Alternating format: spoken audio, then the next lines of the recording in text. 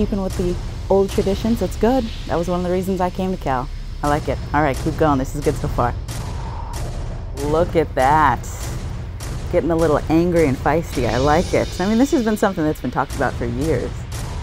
I don't know if uniforms are everything, but I think either 98 or 99% of playing well is looking It's good looking while you're good. doing it. So I think the future is bright for the University of California.